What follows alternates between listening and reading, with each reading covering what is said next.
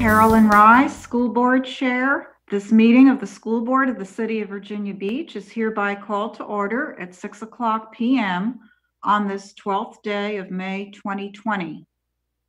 Due to Governor Northam's stay-at-home Executive Order 55 related to the COVID-19 coronavirus pandemic, it's determined that holding a school board meeting in person would pose a real and substantial threat to public health and safety. Accordingly, pursuant to and in compliance with the provisions outlined in School Board Resolution of April 7th, 2020, this school board meeting will be conducted electronically with school board members participating remotely by telephone or on an online platform. The school administration building remains closed. However, this meeting is being streamed live on vbschools.com as well as on VBTV Channel 47 and recorded for archival purposes. Due to the electronic nature of this meeting, school board members and staff must identify themselves verbally before speaking. And before I ask for the clerk to conduct a roll call, I do want to welcome any and all citizens joining us this evening. So with that, Madam Clerk, um, please conduct a roll call of school board members. Thank you. We will begin with, in alphabetical order, with Mrs. Anderson, Beverly Anderson is present. Mr. Edwards, Dan Edwards is present. Ms. Felton, Sharon Felton is present. Mrs. Holtz. I'll return. Mrs. Hughes, Laura Hughes is present. Ms. Manning, Victoria Manning present. Mrs. Melnick, Kimberly Melnick is present. Mrs. Owens, Jessica Owens present. Ms. Riggs, Trenace Riggs present. Ms. Rye, Carolyn Rye, present. Ms. Weems, Carolyn Weems, present. and our superintendent, Mr. S- uh, Dr. Spence, I'm sorry. Yes, Dr. Spence is present. Thank you. Madam Chair, it appears we have a quorum. I'll call one more time, Ms. Holtz. So I saw, I see that we have 10 board members uh, present with our superintendent. Thank you, Madam Clerk. Okay, all votes will be recorded in the minutes of the meeting, of this meeting. And should a school board member join the meeting after the roll call or leave the meeting before adjournment, the school board member is asked to verbally state so. Now I ask everyone present and listening to please join me in observing a moment of silence.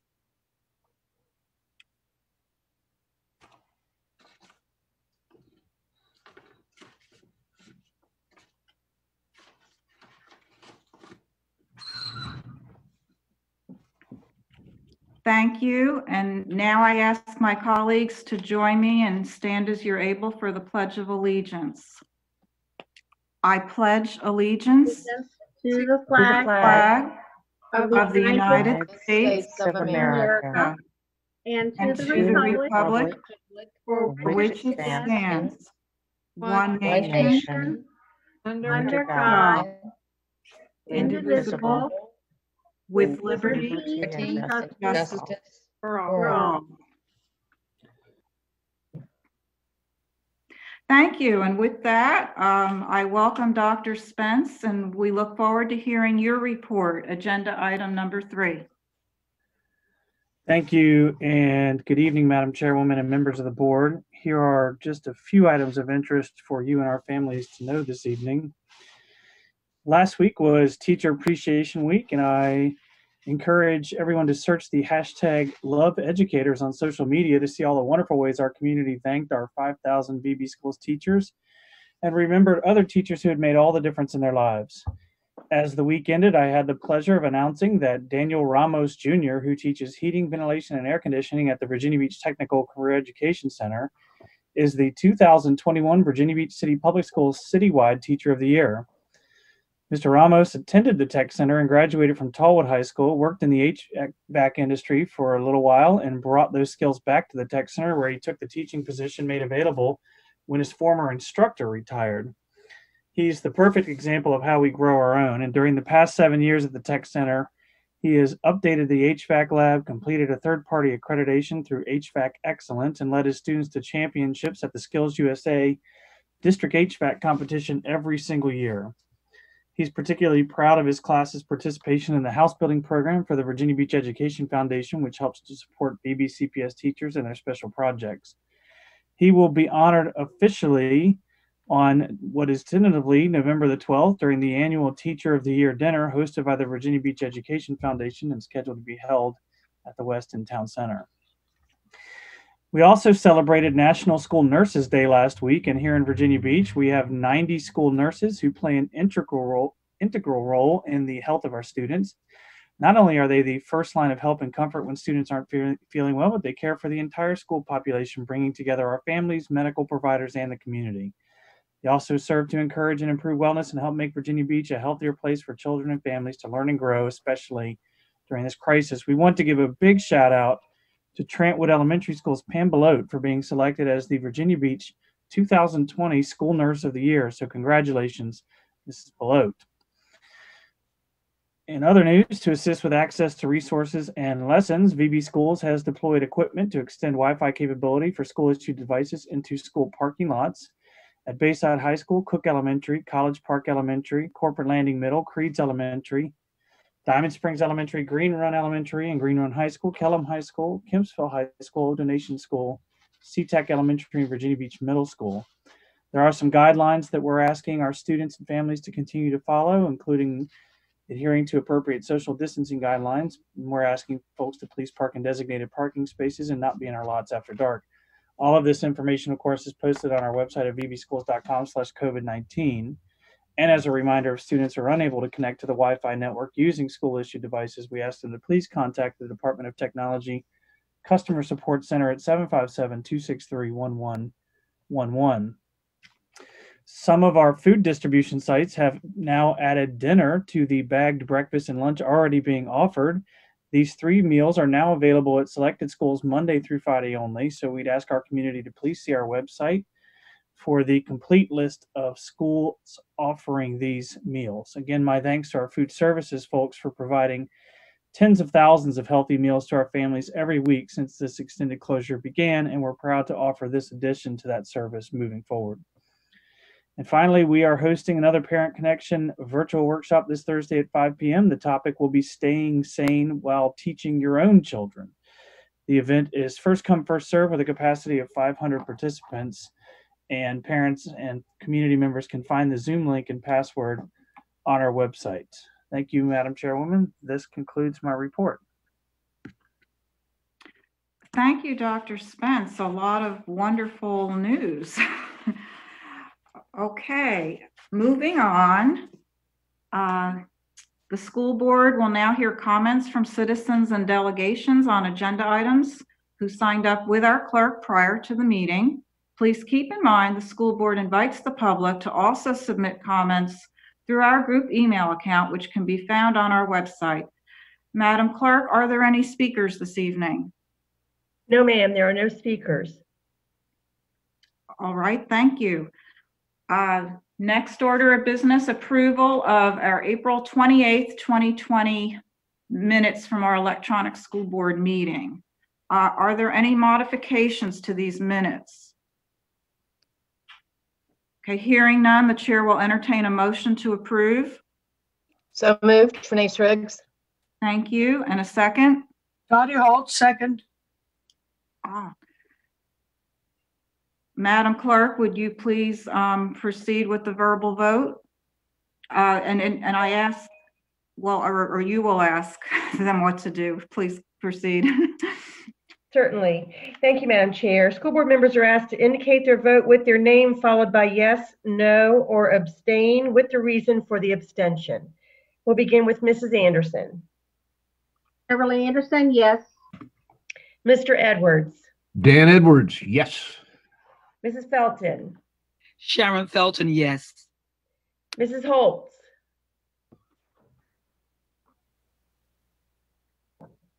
Mrs. Holtz, Dorothy Holtz, yes. Mrs. Hughes, Laura Hughes, yes. Mrs. Manning, Victoria Manning, yes. Mrs. Melnick, Kimberly Melnick, yes. Ms. Owens, Jessica Owens, yes. Ms. Riggs, Trinace Riggs, yes. Mrs. Rye, Carolyn Rye, yes. Mrs. Weems. Carolyn Weems, yes. Thank you. Madam Chair, uh, the vote is 11 to 0, unanimous approval of the minutes. Thank you. Uh, So the minutes of the April 28th, 2020 Electronic School Board meeting are hereby approved. Next order of business, adoption of the agenda. Bef- um, Before I ask for any additional mo- modifications, I do want to note uh, that we add to section, to action, uh, item D, superintendent summative evaluation process fiscal year 20. And uh, also uh, at the, re- uh, because a colleague reminded us, reminded us this evening as we were going live, uh, a section for committee reports, uh, given that a few have met in the past week or so. And that would be um, after information, Madam Chair, Madam Clerk, excuse me. Any other uh, adjustments or additions to the agenda?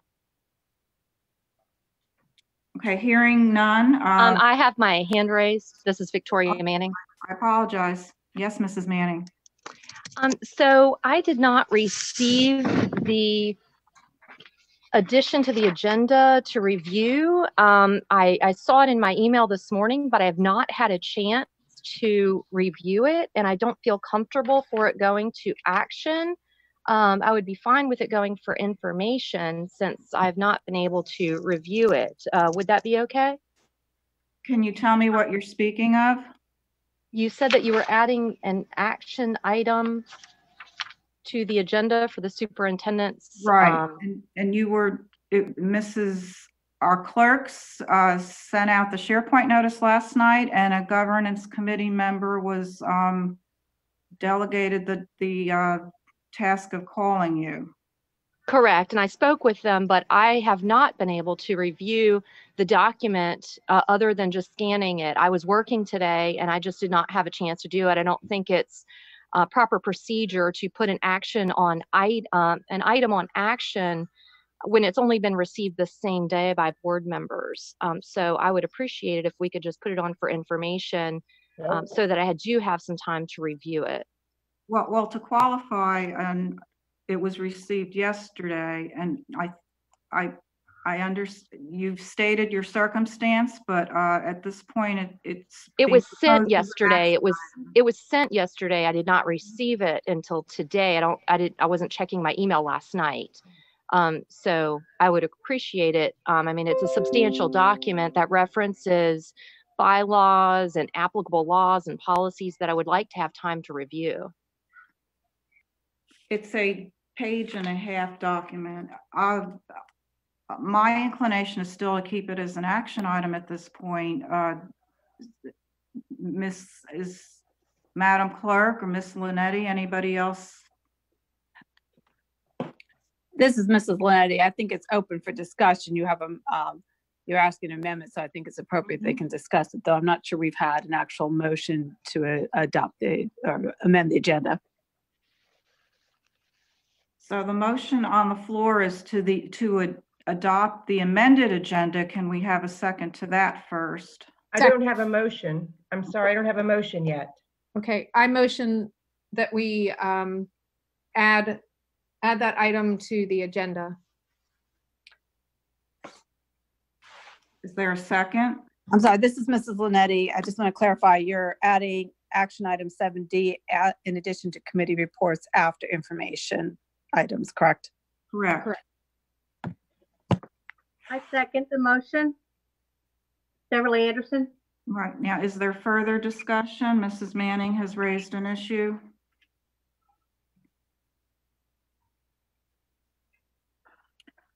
So I assume we proceed with this vote. Madam I Chair, have my, I my have- hand is raised as well.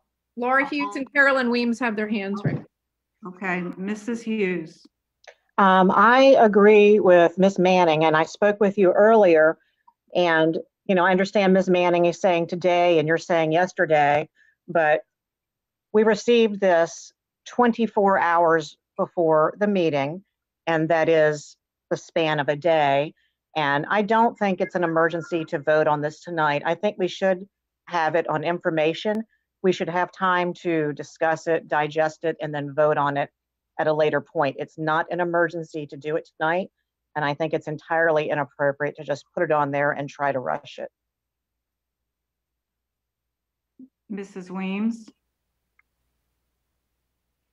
Um, yes, Ms. Wright, thank you. And I, and as you know, I was on the governance committee and, and wanted to kind of, kind of wait to do this, but, but kind of got outvoted. But my question is, if we, um, put this on information, will we, it seems like we'll still be able to discuss it, vote on it in two weeks and meet the June thirtieth deadline. Is that correct? And if so, I think that it's very appropriate for us to put it on information tonight. Nope. Well, who else has a,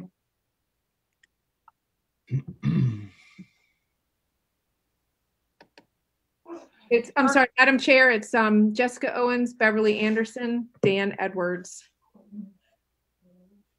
This is Jessica Owens. I think Ms. Weems may have um, kind of asked uh, part of my question. I was trying to find out what, where we were in terms of the deadline for um, this and when the, the next uh, evaluation uh, was going to be, uh, next phase of evaluation for the superintendent uh, is planning to be started so that we had a clear idea of when the policy would need to be in place by. I appreciate the question. Uh, perhaps I can answer that much and we'll get to our next guest or, or participant. There is a timeline associated with, with this process. And, and one of the next orders of business would be the next meeting, uh, according to this proposal. Um, so I can answer, the and, and we would want, we would want to offer the school board members a chance to begin now the, the process, you know, the, what, what lies in the hands of the school board members and, and further instruction about that. So to, in that regard, since we really are dealing with middle of June, and this gets into the document itself, I want to get, don't want to get too much into the weeds now, but there is somewhat of a timeline line issue. I'll just leave it at that for now and allow Mr., is it Mr. Edwards next? No, no, Madam Chair, Beverly Anderson, then Dan Edwards. Okay, I'll scroll back up. Mrs. Anderson? Thank you. Um, as I understood it, um, each governance committee member was supposed to contact uh, other school board members to go over this with them. Um, I know I, I had the, the job of, of, I mean, I, I called, um, Ms. Holtz and we discussed it and talked it over. Um, there isn't really that much to digest. It's a very simple document and it has to do with the process as you explained. And if we don't vote on this tonight, um, you know, we, sorry. If we don't vote on this tonight, we, you know, we will be behind on the timeline that this document uh, allows us to have. So um, I think we can discuss it tonight. Um, there's plenty of time for discussion on it um, during the action part of the agenda. And um, so I, you know, I don't quite understand what, what the holdup is, why people can't figure out how, you know, how they might want to vote on this and, and, you know, and look at the document as we're going over it and figure out what it's about. We can, we can discuss it during action, obviously. So I, I, I think we should keep it on the agenda for action tonight and move forward. Okay, Thank you, Mr. Edwards.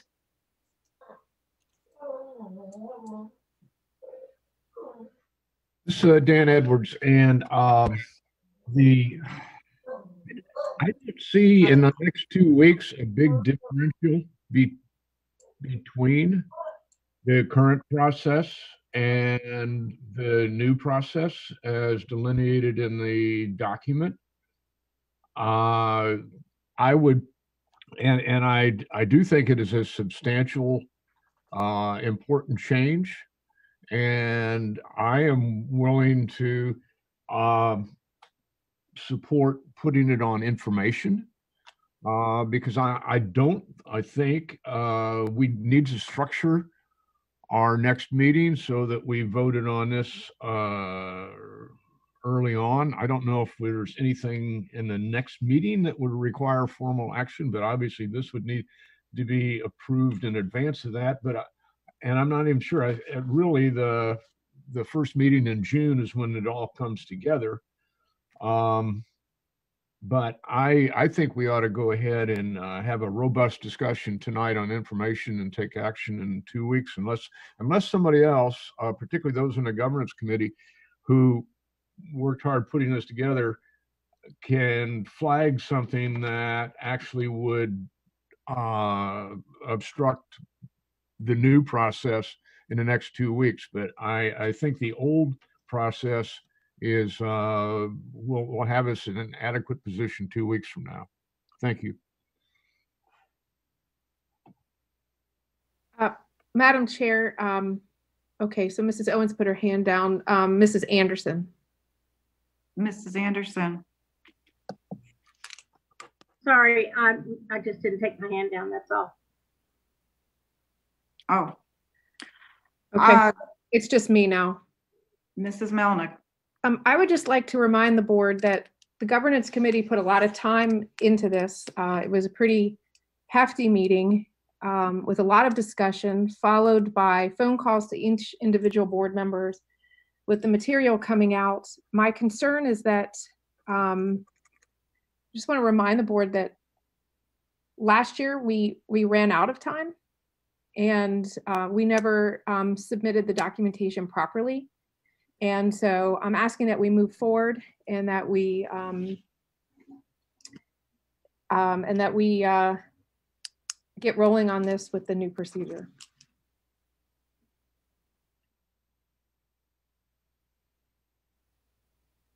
Mrs. Riggs. Thank you, Mrs. Melnick.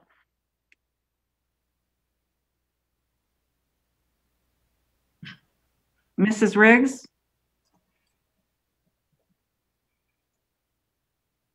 Sorry, I did, I did not unmute myself. Um, I know that you s- had, um, Diane send out, I think it was the, the first Friday in May, the, um, The instrument? the evaluation instrument, so we know that it was coming up. And we had that to look at. I, I can't remember, because I'm, I'm not pulling up the email right now. But, um, and there was a, um, on the calendar, you know, uh, information that we were meeting. And that, um, the evaluation needed to come up. So I'm not sure if that, any of that came up, but we knew the evaluation was coming up. I think that we need to move on with this. I don't mind, um, we can talk about it tonight, but this is something that um, comes every year. We're also putting it off another week because of it. We've said it should be at the fifteenth, but because of uh, the time um, that has happened during the, this coronavirus, we decided to give it another week um, extra this year. But there really isn't anything that changes anything except for the final vote. And we need to move on because we didn't, last year, we didn't even come up with one. So we were trying to get to a point where we hopefully could have something that would go along with everyone. And consensus is basic government 101. So this is something that uh, I think we should need, should move on with. Thank you. Mrs. Felton, your hand's up and you haven't spoken yet, so please proceed. Good evening and thank you for this time. Um, Ms. Edwards mentioned that it is a new process. It is something that we have been talking about and doing. And my concern, which it has been touched on a little bit, the timeline, uh, I'm concerned about that as well. Uh, but I would like to, if she could speak to Ms. Weems, she said she was voted down. And being that she is on the governance committee, I would like to hear her concerns about why she was voted in and why she didn't want to go, go forward with it. I just, I- I'd like to hear her expound on it just a little bit more. Well, I, I I feel we're getting bogged down in this. Let me just say this. I don't recall a specific committee discussion about delaying this, this discussion tonight. So I will say that much. But if, if any, but I certainly will, Mrs. Weems is free to weigh in. Thank you, Ms. Felton. Thank you, um, Ms. Rye. Yes, I thought it was, um, too quick to make such a philosophical change. This is a, a big change in the way we evaluate from averaging scores and individual, um, evaluations to a consensus model. So it is a, it, is a quite big philosophical change. I thought to push it through for this time around was quick. I, I said that several times it's fine that that my other four colleagues did not agree but tonight i think to to put this on just getting it yesterday for some of the colleagues who may are who are not on the governance committee have not had time to review it have not had time to um, mull it over. There is no reason why we can't put it on information and vote on two weeks. Like one colleague said dr spence is you know turning his his part in a little bit late because of extenuating circum- circumstances with the pandemic um, since we can still meet our deadline, final deadline of final evaluation, June thirtieth. I think that if one or two or three or several board members are not comfortable with voting on it tonight, I think it's very appropriate to discuss it tonight. Like I said, it is a complete change of the way we have eva- been evaluating for the last eighteen years I've been on this board. So I think that since it is changing quite a bit, that um that our colleagues that that want more more discussion who are not on the government governance committee um deserve more discussion. I mean, I called the person that I was to call. They got it yesterday, but you know, and and this has been my worry on several things. We shouldn't be getting things, you know, 8, 10, 12, one day in advance. Um, you know, and so I, I think it's very appropriate to put it on information and and let folks hear the discussion tonight, hear the pros and the cons, and, and then think about it and vote in two weeks. We can still meet every deadline and have it done by the appropriate and designated and a mandated time.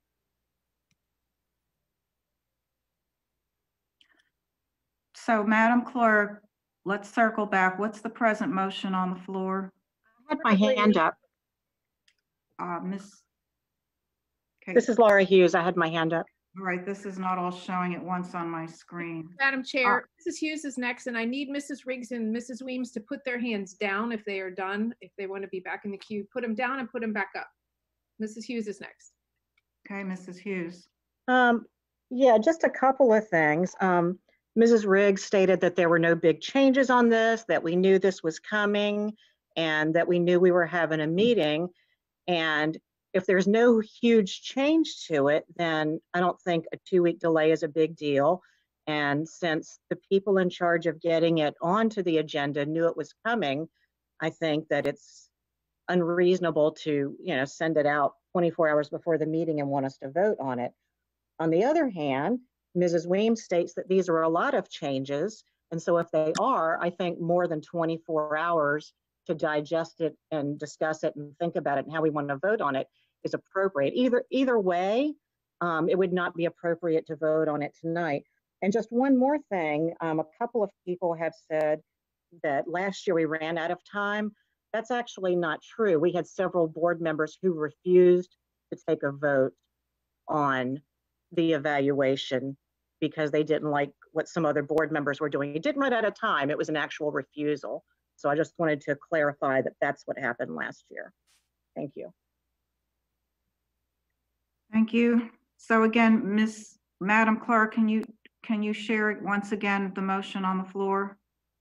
Yes, ma'am. Uh, Madam Chair, the motion on the floor right now is to add the superintendent's summative performance evaluation process FY twenty as an action item seven D, and also add committee reports after the information section A, eight, I'm sorry, as item number nine. So do we need to vote on that before we have a substitute motion? Or can I adjust that motion since I asked for that original motion? You would Uh, need to make a substitute motion.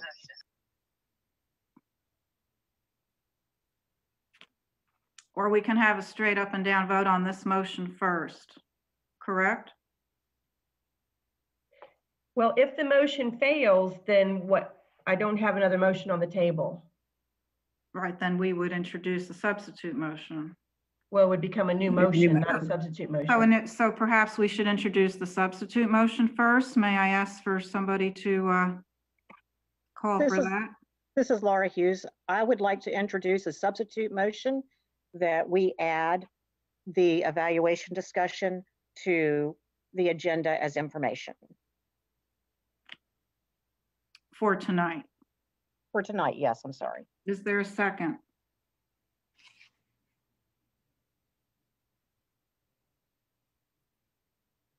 Carolyn Weems will second that. So the motion on the floor to amend the agenda to uh, have the superintendent summative evaluation process be added as a second information item and to have the committee reports added as was previously proposed. So that motion has been proposed and seconded. So can we have, is everybody understanding what they're voting on right now? Madam Chair, will you please, um, will you please read that motion again?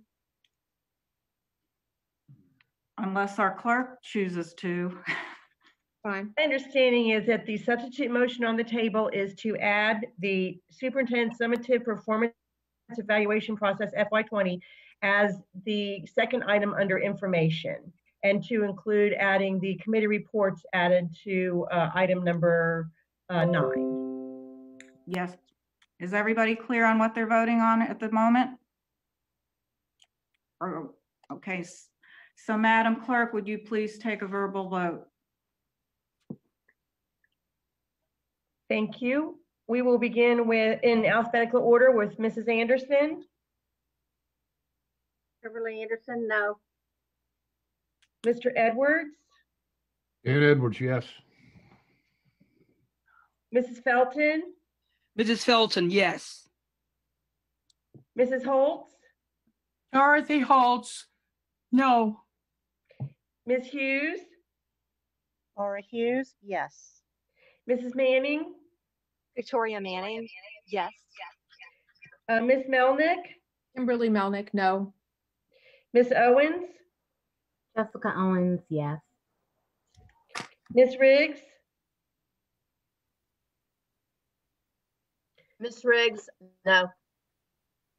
Ms. Rye, Ms. Rye, no.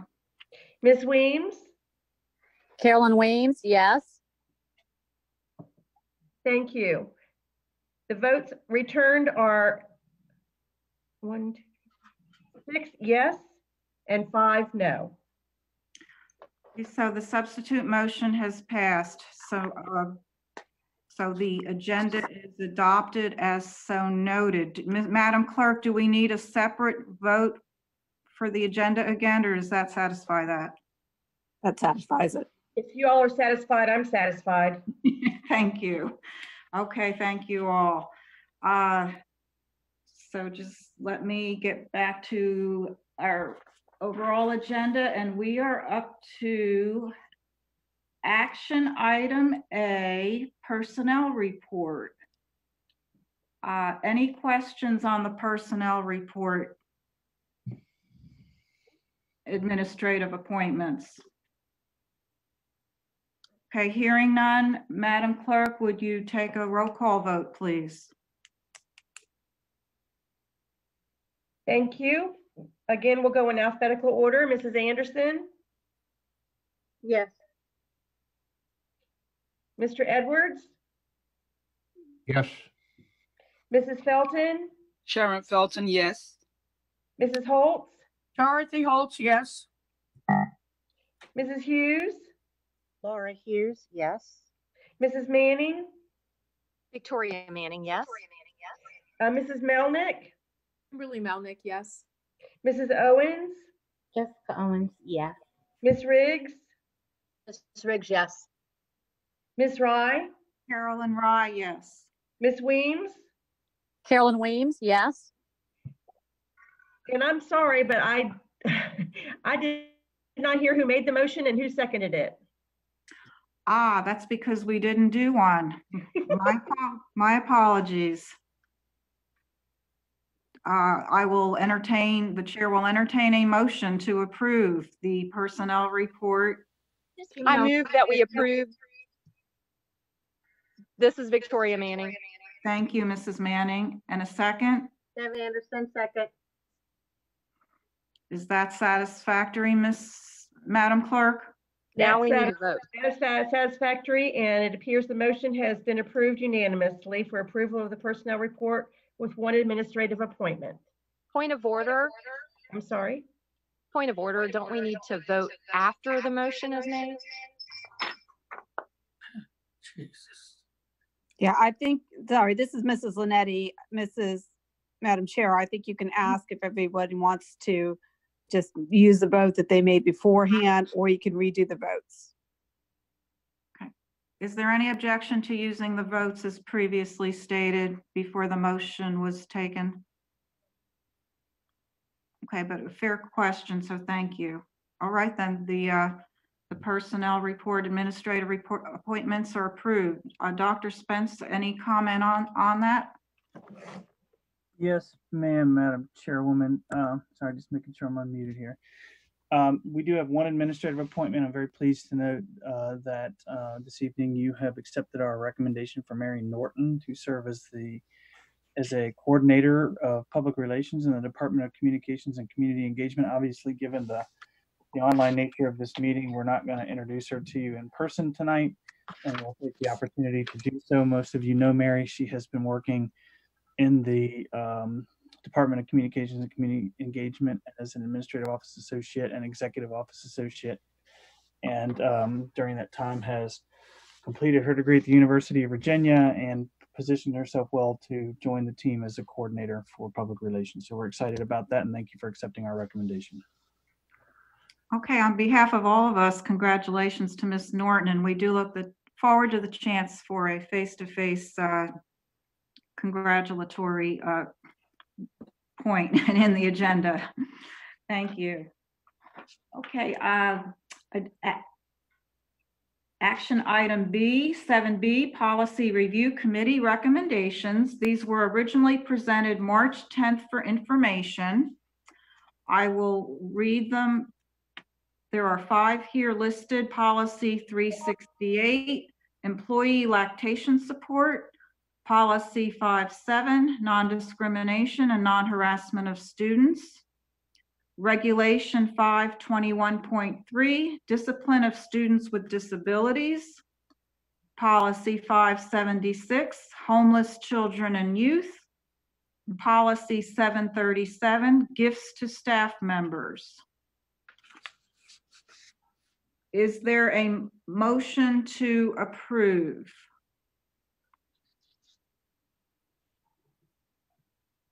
Kim Melnick, so moved. A Second, Dorothy Holtz, second. thank you. Any discussion on any of these? Again, they were presented previously. Okay, with that, Madam Clerk, um, a roll call vote, please. Thank you. I'll begin with Ms. Anderson. Mrs. Anderson? I'll come back. Mr. Edwards? Beverly Anderson, yes. Thank you. Dan Edwards, yes. Mrs. Felton? Mrs. Felton, yes. Mrs. Holtz? Dorothy Holtz, yes. Mrs. Hughes? Laura Hughes, yes. Mrs. Manning? Victoria Manning, yes. Mrs. Melnick? Kimberly Melnick, yes. Ms. Owens? Jessica Owens, yes. Ms. Riggs? Ms. Riggs, yes. Mrs. Rye? Carolyn Rye, yes. Mrs. Weems? Carolyn Weems, yes. Madam Chair, a unanimous vote to approve the policy review committee recommendations of five policy, I'm sorry, four policies and one regulation as presented. Oh, thank you for that clarification. Okay, yes, then that that they are all uh, approved. Thank you, and thank you, PRC members. Action item C, appointment of a hearing officer. And Ms. Lannetti, I'm going to ask you to uh, provide an explanation, please. Certainly.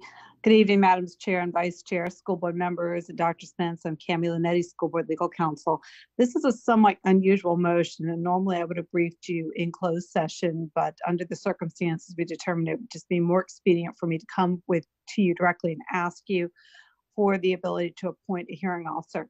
We have a school board policy five seven, which you actually, I think, just amended, um, has to do with non-discrimination, non-harassment of students. Part of the procedure required by the U.S. Department of Education is there must be an investigation report and there must be an ability to appeal that uh, report if, you- if the individuals involved in the investigative report disagree with the findings. And there's one or two ways that school board can do it. They can have a hearing themselves or they can appoint a hearing officer. There's only been one other time when we've had to do this about two years ago. Under the circumstances, because I believe that this might be a somewhat lengthy hearing and it might be difficult to put a large amount of school board members and witnesses in a room, my suggestion is going to be that we use a hearing officer as we've done in the past. To do that, I need to be able to hire one, and there are certain timelines that have already passed because of the um, time period the close, school been closed. So what I'm asking the school board to do is to allow the superintendent to go ahead and appoint a hearing officer to handle the appeal and to make all necessary arrangements and extend the timeline so that we can get the appropriate hearing up. We have spoken with the family involved in this. They're waiting for your determination, and we believe we have one or two individuals that we are available to be a hearing officer depending on the date we pick. Again, I don't want to go into the actual details for why, because this is a, um, a confidential matter, but I'm just asking for the authority under the policy seven to allow the superintendent to go ahead and appoint the hearing officer to make the necessary arrangements. Before I ask for a motion, um, questions for Ms. Lannetti, and she'll let you know if she can answer or not. Okay, hearing none, is there a motion to approve uh, the appointment of hearing officer? Um, Kim Melnick, I motion that we approve the appointment of the hearing officer. Thank you. Shirley Anderson, I second. Thank you. Um, Madam Clerk, would you proceed with the verbal vote, please? Thank you. And just to clarify, I understood the vote, I'm sorry, the motion to be to authorize the superintendent to appoint a hearing officer. Is that correct? Yes. This is Mrs. Liddy, and also to make the necessary arrangements for the hearing and extend the timeline to allow us to complete the hearing. Thank you. And that would be a- as it's written on the agenda cover sheet if you're looking for the specific language. Thank you. I'll begin with the, um, Ms. Anderson, Beverly Anderson, yes. Mr. Edwards, Dan Edwards, yes. Mrs. Felton, Sharon Felton, yes. Mrs. Holtz, Dorothy Holtz, yes. Mrs. Hughes, Laura Hughes, yes. Mrs. Manning, Victoria Manning, yes. Mrs. Melnick, Kimberly Melnick, yes. Ms. Owens, Jessica Owens, yes. Ms. Riggs, Ms. Riggs, yes. Mrs. Rye, Carolyn Rye, yes. and Mrs. Weems.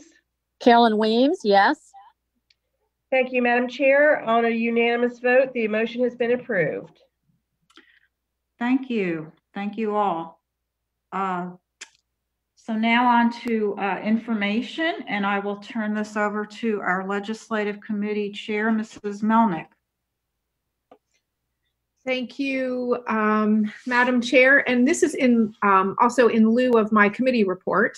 Um, But tonight, um, we have Joel Andrus from Kemper Consulting, who will give us an update um, from the Legislative Committee. Welcome, Mr. K- Welcome, Joel. I'm sorry. I almost called you Mr. Kemper. No. Mr. Andrus. Uh, Good evening, everyone, and uh, Madam Chair, School Board members, thank you for having me. I I missed seeing you all over the last couple of months, but I'm glad to be with you this evening.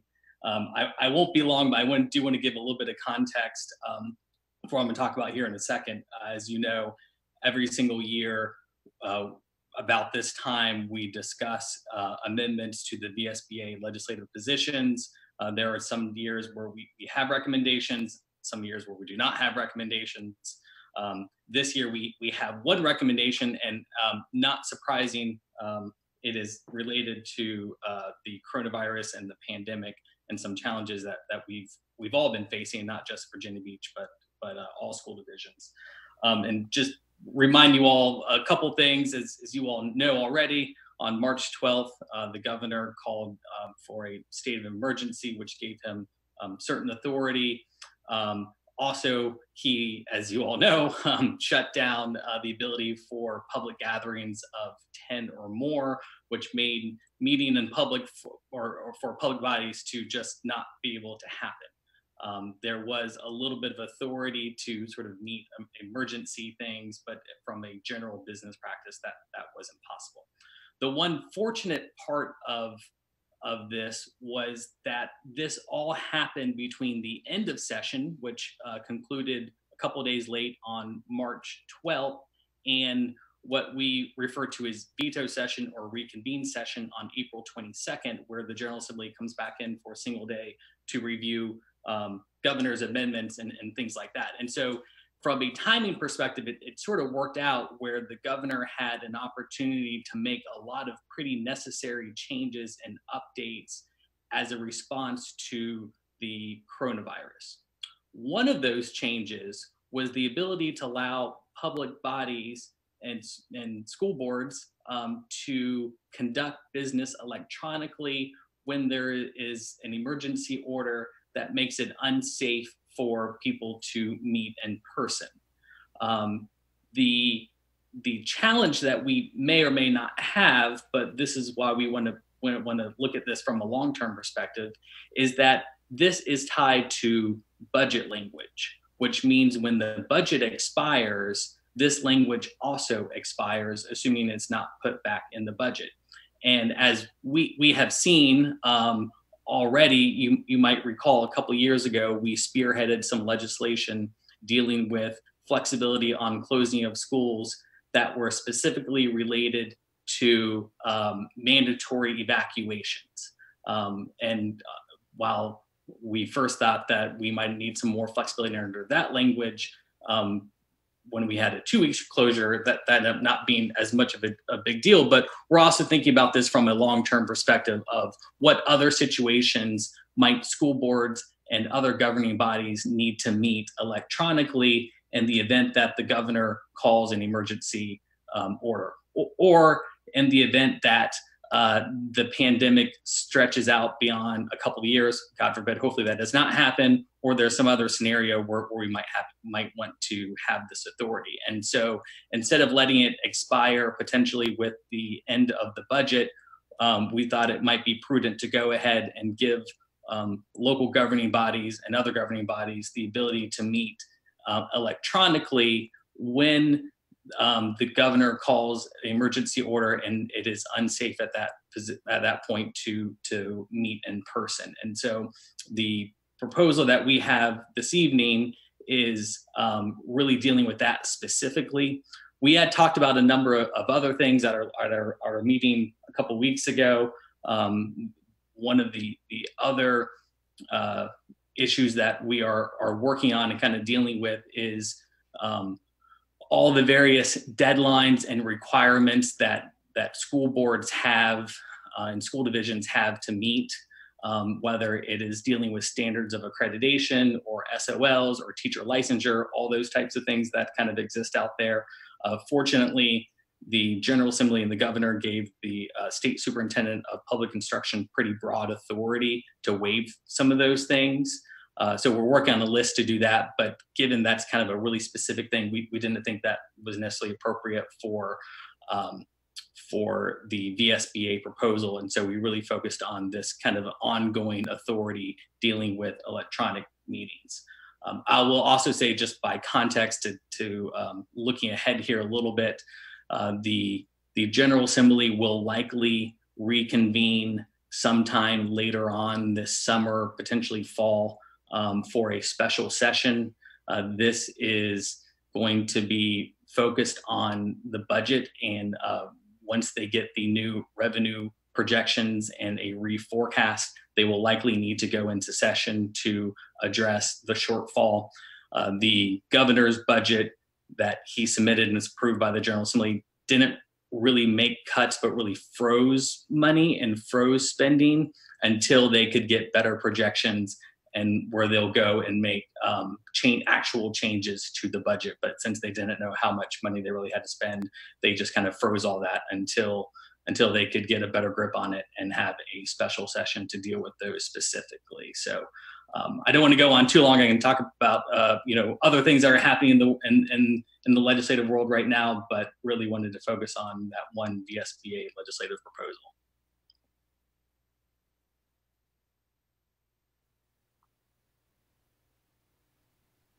Mrs. Melnick, would you like to entertain questions on that point first and then perhaps allow, uh, you tell me what you want to, Sure. No, wanna if go from questions for Mhm. Joel, um, that's great. I mean, we, you know, we put a lot of thought into this because no, nobody saw this coming except for Bill Gates. And we would like the opportunity to be able to continue to function.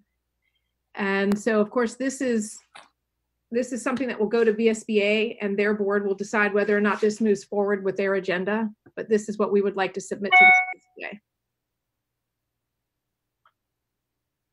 Um, I don't know if any of the committee members want to weigh in. Um, Mrs. Lannetti, Trenace Riggs, Sharon Felton. This is Mrs. Lannetti. I think this is an area that a lot, both the Local Government Attorneys Association and the Virginia School Board Association and Council of School Attorneys have been looking at. We need a little bit more flexibility. In this case, this is a long-term epidemic, but certainly in a in a disaster situation such as a hurricane, we could also see similar situations. And the rules have the Virginia code sections having to do electronic meetings, remote participation meetings make a little difficult to get some of the business that needs to be done in a long-term situation. So we're not making any recommendations specifically what has to happen, but I think there are a number of organizations that are looking at this and think that we need to have a little bit more flexibility so we don't have to wait for the General Assembly to pass a bill. We lucked out this time because it just happened to happen while they could still come back in session. If it was during the summer, it would be more difficult to deal with this. So I think it needs to be looked at. And I think we're developing ways to do this that are convenient for the public to handle. And obviously, we can uh, refine those by the time a bill comes up. But I think this would be a good thing for all localities to have the ability to do so they can continue to get business done. Good evening. This is Sharon Felton. I'd just like to say thank you, Joel, for that detailed uh, description of this bill. I'd just like to say, as the vice president for the VSBA regional, Tidewater regional area, you do have um, most, if not all, of the division looking and thinking in this same way. They are glad to know that um, the Virginia Beach Division is moving forward with this. Uh, believe it or not, um, the Virginia Division seemed to be the model for everyone. They saw, and they've said this to me, they sort of kind of sit back and wait to see what we're going to do and how we're going to move forward.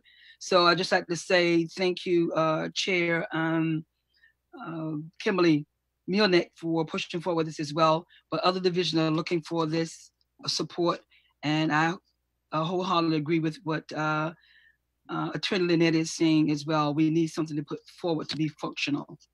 Thank you.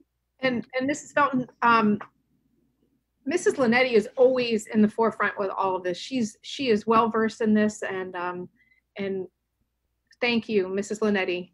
Thank you.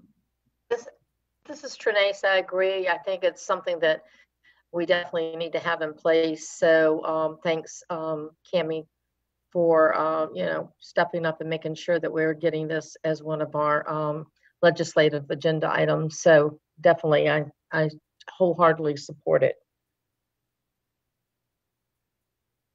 I think Mrs. Manning has her hand raised. yes, Mrs. Manning, thank you. Yes, thank you so much. I do support this effort. Uh, uh, we were put in a very tough spot on violating FOIA um, with also needing to conduct business. Uh, so I support legislation that will put this into law so that if this happens again in the future, that we will be as the uh, proposed legislation suggests be put into the 21st century. So thank you very much. Thank you, Mr. Edwards.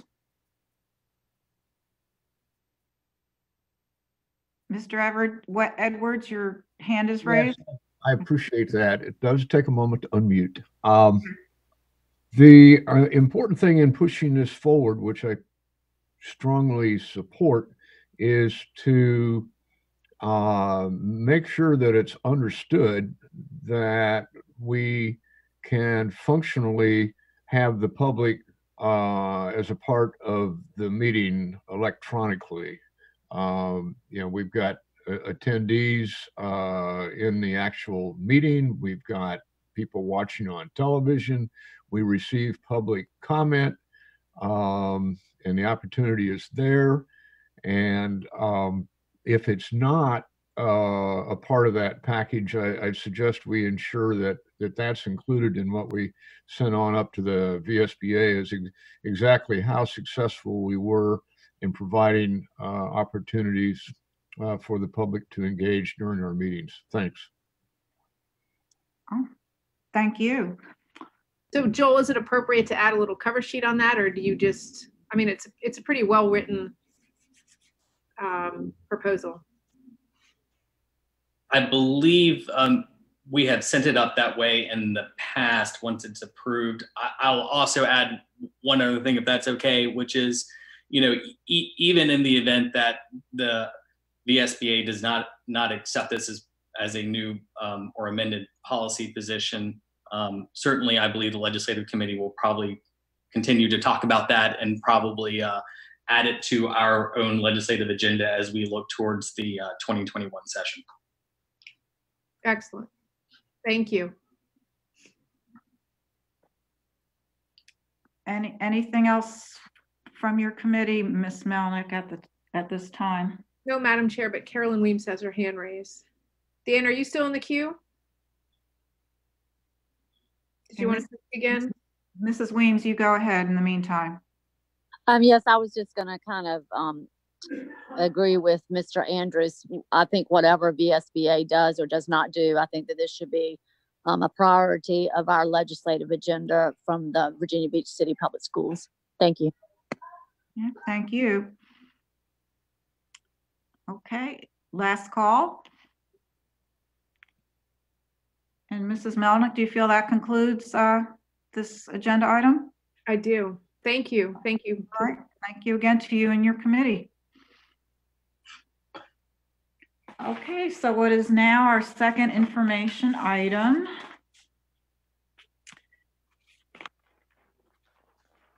Is the superintendent summative evaluation process. I think we heard about that earlier this evening. So I will, I will begin the and Ms. Lannetti, of course, stands ready with questions, but we will certainly open it up to all. But just want to introduce this topic as it gets posted on our screen. Are we working on that? Wonderful, thank you. Uh, So the superintendent evaluation is one of the uh, most important roles of a school board, the hiring and the annual evaluation. And we, we take that role very seriously, us collectively as a board. And um, one of the charges of the new governance committee was, because it didn't ever have a home to fall under before. Uh, and the timing was just perfect and at the, the committee established right around the, the start of the new calendar year. At the same time, the Department of Education released updated guidelines. Uh, we we collectively as the board all all wanted more i think um there, there was a process in place but it wasn't documented any anywhere. And and to be fair to us and to the superintendent uh, we just felt this was an ideal time to document an, an, a formal process a, a, a process that in some cases that just validates what we've already been doing. But among the things um, it does is establishes a, a timeline that we will all be very sure to adhere to. Uh, it provides reasonable expectations. What's what's reason what's expected of us in this process. Uh, it reiterates the for the superintendent, you know, the expectation, of course, of his own self-evaluation, and and as as a major expectation. Um, it does provide alignment with the DOE guidelines, and there were other, as well as VSBA guidelines, the, his own contract, uh, our school board bylaw appendices, and, and any other law, bylaw or policy that we may have that touches on this. So that was all kept in mind. And as for the instrument itself, the evaluation instrument, it, it, it still is very familiar to all of us. And it was, it has been distributed or disseminated already with thanks to our clerk, just to uh, get you all in, in the right, in the thinking mode. Uh, What this, what this document does is attempt to elaborate further on the considerations and the criteria as, as we go about uh, providing input uh, based on this document. So the instrument itself, uh, some minor uh, changes from VSBA, but for the most part, that we do have some flexibility with it. The committee as a whole, as far as the instrument itself, decided to defer until fall any um, deeper discussion on the actual, the standards, and there are seven standards, and then there's anywhere from six to nine indicators under each standard. So as a committee, we, we have uh, pledged to take a closer look at the actual indicators, which, which ones do we want to keep, which could be merged, which don't we need, what, which ones maybe we think or should be there and aren't. And we will also have a discussion about the weighting of the standards, which there's some flexibility with. Uh, but uh, for now, there for this year, there was a slight adjustment from the VSBA in terms of the seven standards uh, and and the weight of the last standard uh, on student achievement. So we have pledged to take a closer look at that come fall. Uh, let's see, we are. Uh, just give me a moment here.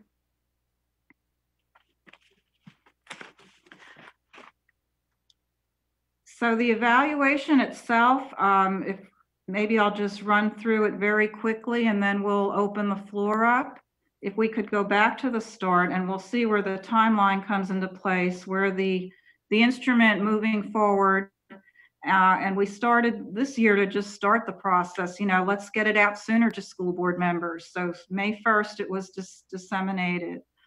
Uh, we're, we're asked, and again, that we will, when we uh, send out further instruction, provide to you all the VD, the new VDOE guidelines, the, the so that you can see for yourselves uh, where the alignment comes into play. Uh, and again, it's just these bullets here in number two are to are to document all the all the other documents that govern that drive this process. So when we say we have some flexibility, but we're also governed by these these formal documents.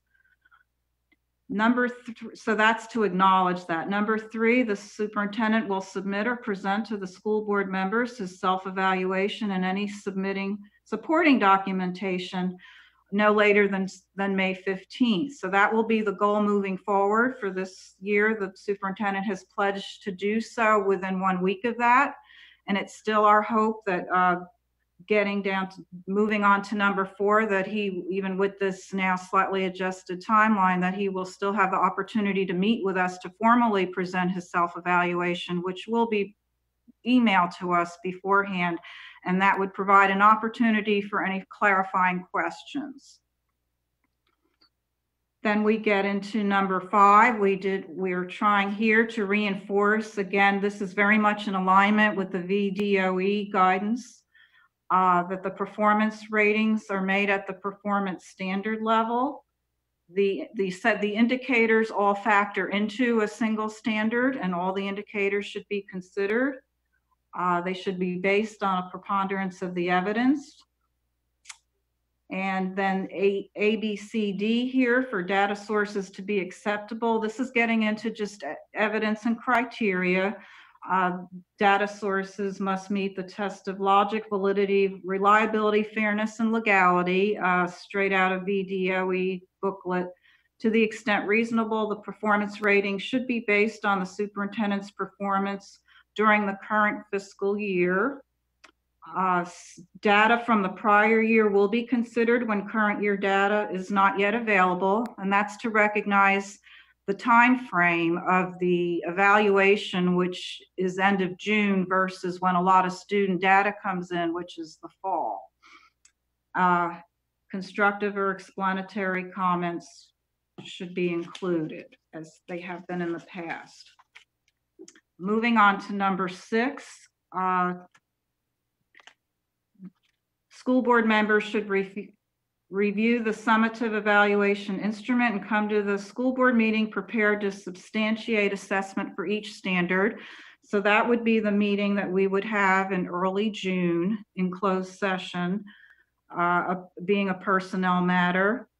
And this is uh, where there, the significance of this is that the goal here is to, as a board collectively, develop a single summative evaluation product that would then be presented to the superintendent.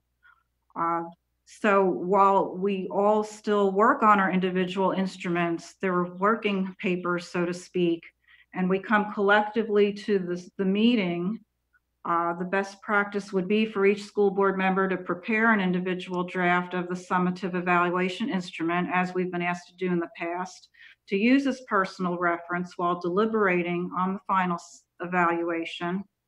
B, school board members who anticipate, we, we addressed here in B and C about any member absent from that, that particular meeting would certainly be offered the opportunity to submit in advance to the chair their input. So that's what B and C cover.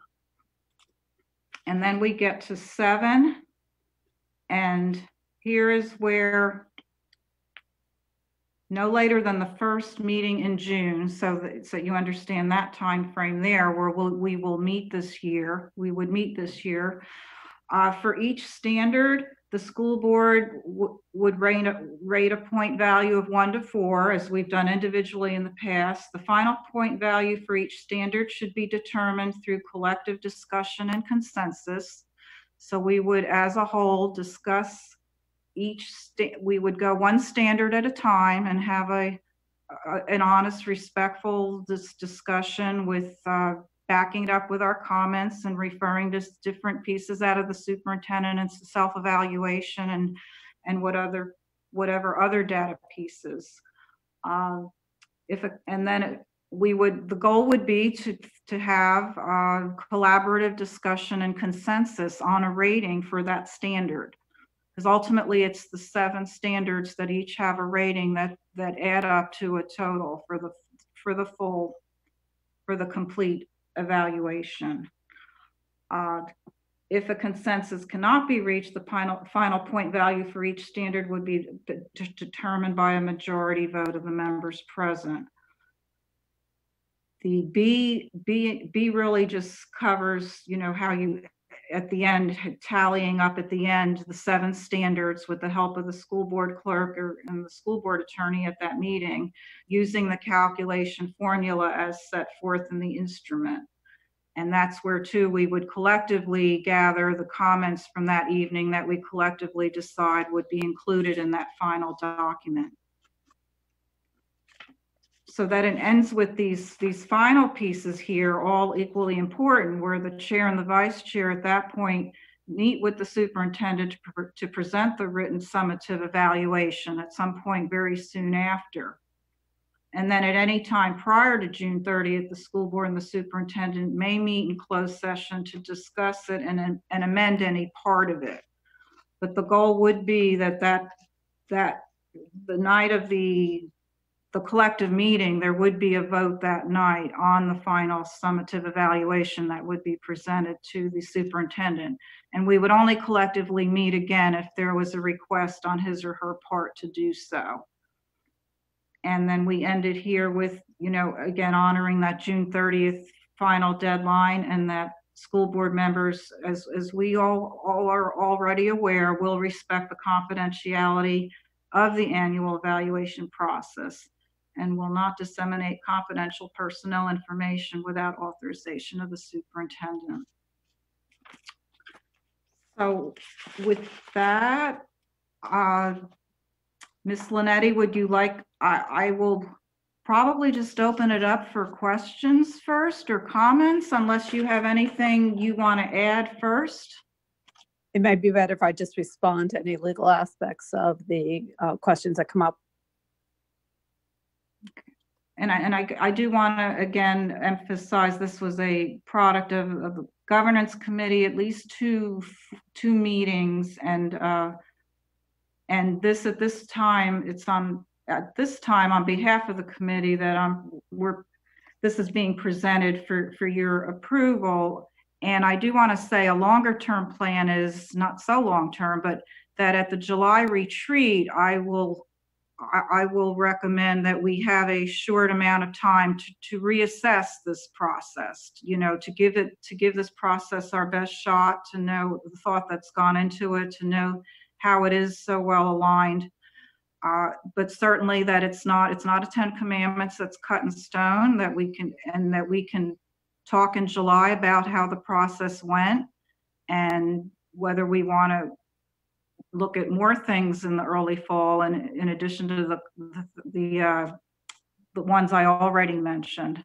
So with that, we will open it up and we see some hands here now. So it looks like Mrs. Weems.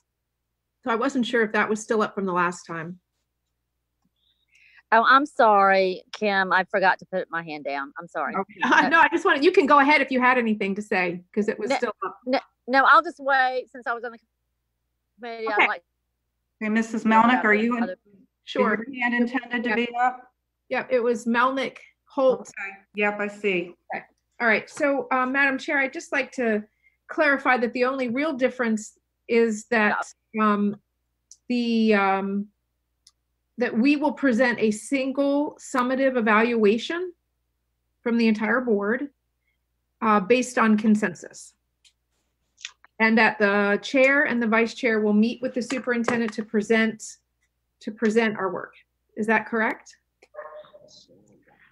That, those two points are correct, yes. Thank you. Mrs. Holtz? Thank you. Um, that was also my understanding. I just wanted that to be clarified. That's the major difference. But I wondered, when the governance board discussed this, did they search to see what other school systems are doing? Is anyone else following this model? I'll allow my members to weigh in. The answer is yes. Uh, So I'll leave it to Mrs. Weems and Mr. uh, Edwards as to, to share to the extent they choose to. I, I should have.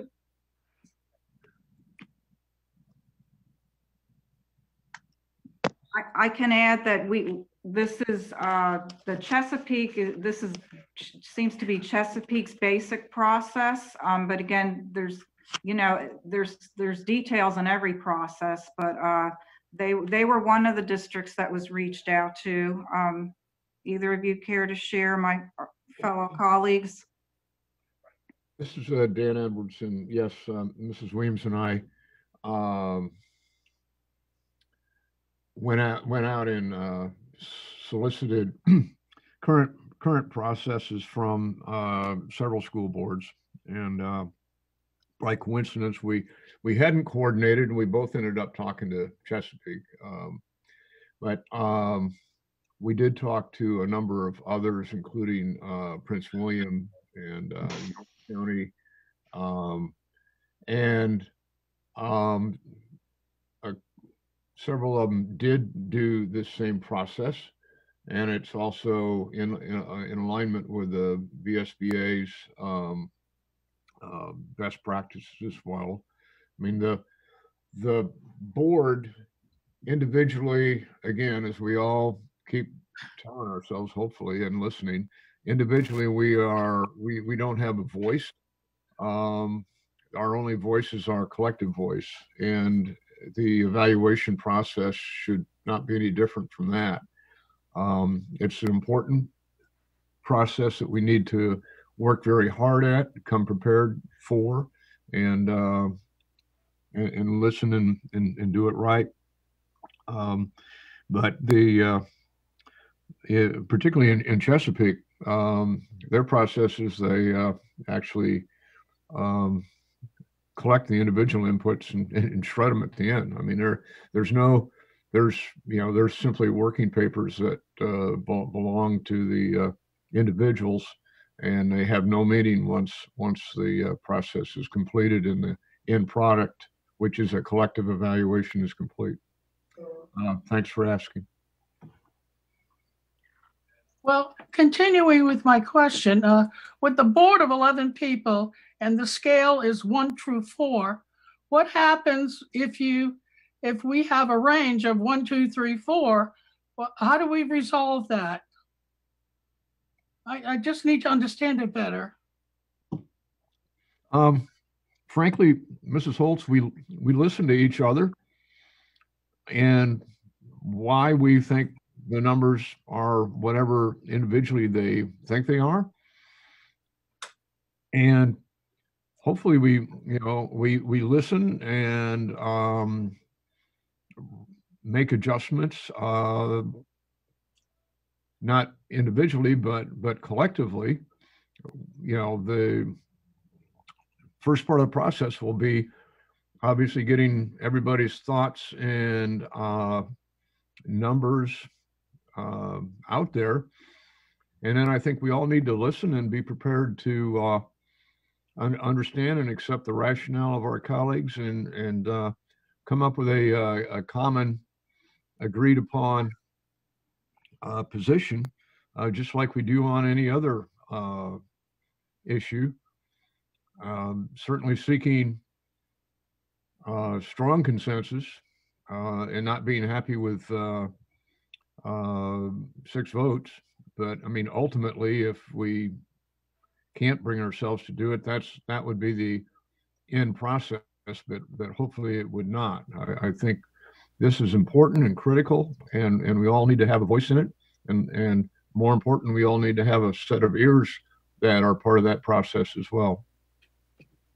Um, I'd like to comment on that, if I may, um, Ms. Rice, since I was on the committee. Um, Yes, that a- Yeah, that's a good question, Ms. Holtz. Um, and we did reach out. Norfolk does the same as we have done since I've been on the board for, for 18 years is, you know, you have 11 evaluations. Well, in their case, they have, I think, either seven or nine. But if I give a three, like say standard one, if I give a, you know, three, two, somebody else gives a two, eight, and five people give a four, oh, one person gives a one, eight, another person gives a three, six, you just take those numbers and you average them. That's what we've always done. That's what Norfolk still do, does. Chesapeake used to do that until last year that they did a consensus model and they actually voted on which category because you know as you remember each number um, has kind of like a i guess a range of exemplary exemplary um, proficient needs improvement all that stuff. So they they changed and, they- and they kind of came up with a consensus of which category. But i think the problem the, the heartburn that i have is I mean, it is very difficult and, and I feel for superintendents that, that have multiple bosses, you know, they have 11 bosses, but I think that each one of our voices matter. And so the only, you know, the, the thing that gives me pause and I'm a little leery with a consensus model is basically, let's just take a standard one. Um, say three people, you know, gave a one and, and told why and had their working papers and defended it and thought that was right. Three other people gave a two, did the same thing. Five people gave a four. Well, you've got six people giving a one or two, you've got five people giving a four, but then if you can't come up with consensus, you go for a vote. And is that going to come out with five people giving a four where you actually had more giving ones and twos? Um, so to me, when it comes down, I, I'm not really sure, and I and I, I know I emailed this to Cami and, and Chairman Rye. What does consensus mean? I agree with Ms. Holtz. What does it mean is it a six vote, and, and if you can't come up with consensus, because I think it's going to be very, very, very difficult on all these standards to come up with the same number. Because you have everything from one to four. You have a 1.6, a 3.3, a 3.7, a 3.9, a 4.0. I think it's going to be difficult to come, to come up with a consensus. And I just don't want it to be to where you just have six people vote. And to me, the other people's numbers don't even matter.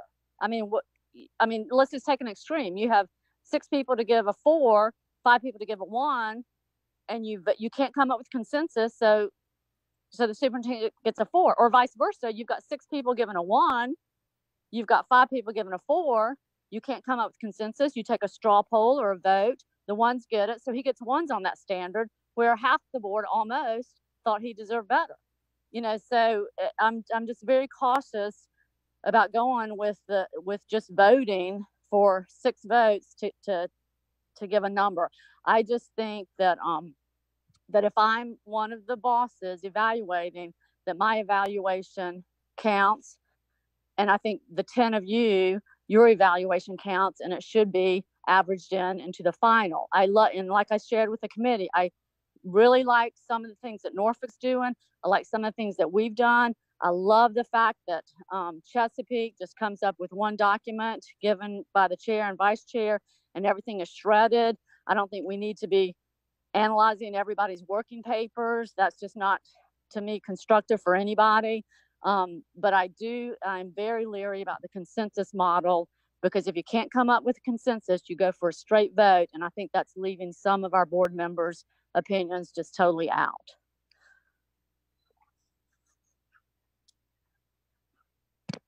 And that's all I'll say, say for right now.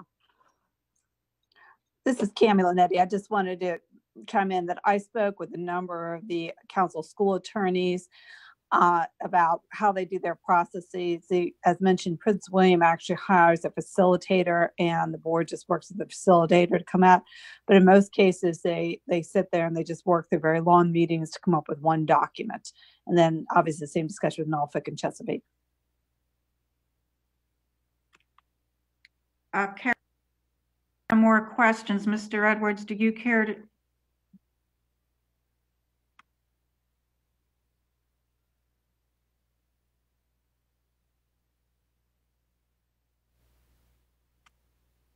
Mr. Edwards, do you hear me now? Yes, I hear you fine. I'm just unmuting. Oh, Uh, no, I was, I thought it was me. No, it was me. I just wanted to ask if you had anything to share about any other district before we go ahead to these other. No, I already, I already shared on those that I had uh, spoken of and to, and um, How about your, York County? Do you care to comment on that one or no? I'm sorry, what? York County, do you care to comment on that one? Well, yeah, theirs was a little different in that they, they, they use a statistical mode, not, not an average. And um, they're, they actually um, take the, uh, I, I guess going back to uh, Mrs. Weems' um, uh, example, um, they, they take the number that has the, the, the most and again, if you all want to, on a, on a sidebar there, look, you know, Google mode, statistical mode. Uh, it's the number that gets, that is the highest frequency. In other words, if we had, um, two fours, uh, five threes, two twos and whatever, three, and in other words, it's the single number that had, that just happened, that, that happens to have the most support uh, for each standard. Um, and um, I, and that's done without, it, you know, and I, I'm not comfortable with that because I, I think we need to listen to each other and try to drive towards that central number based on what we all feel um, after we uh, listen to each other as well as present our own. Okay, thank you. Uh, Mrs. Manning? Yes, I hope everyone can hear me okay. I lost internet connection, so I'm on my phone. Can you hear me okay? Yep. You sound great. Okay. So I do like the part of the change where the chair and the vice chair present the final product to the superintendent. I think that's very valuable. I guess I'm trying to understand the change. Currently, it seems like we have a more equitable process by having equal representation of each board member. We each give our our uh, our feedback, our input, and our score, and it's averaged together with um, all the other board members. So it, it's it's it's equitable, um, and I just really feel that this new suggestion, um, you know, we could have um, six board members that believe the superintendent is doing a poor job, you know, say it's on a scale of one to 10 and they give him a two, and five board members give him a nine. Um, and the superintendent would end up with a score of a two. I just really don't feel that that's um, an appropriate representation and an equitable representation of each board member elected to serve and to um, provide the feedback regarding the superintendent's performance. Uh, so I guess my question is, why do you want to change the process from currently where I believe that we have an equitable representation to one that goes to a majority vote? If I could interject for one moment, again, we have to remember the majority vote isn't the starting point.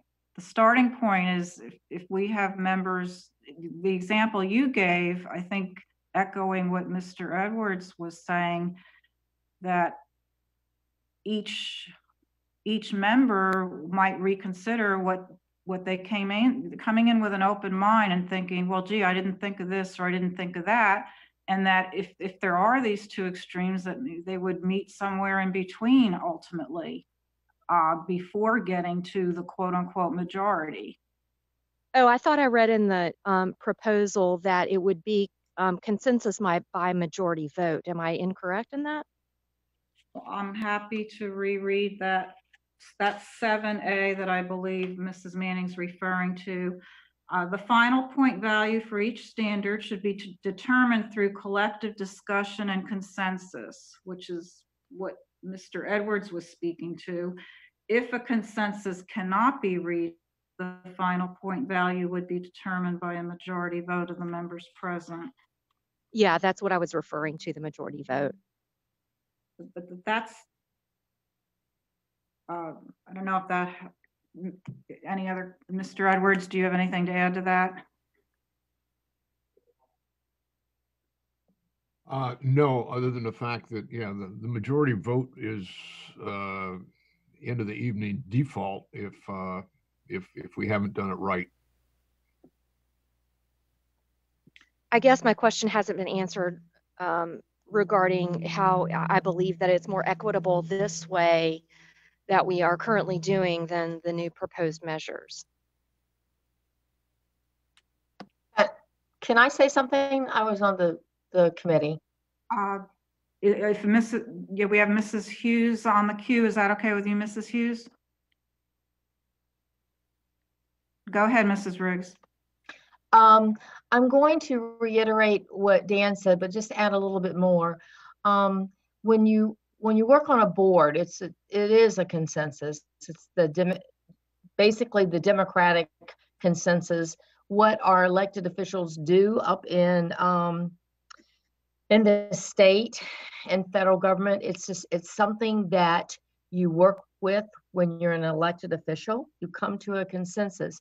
You share your positives, your negatives, and like Dan said and and um, Carolyn said, the fact is you might come in with something that we, some of the other people, did not did not think about, and they're like, oh yeah.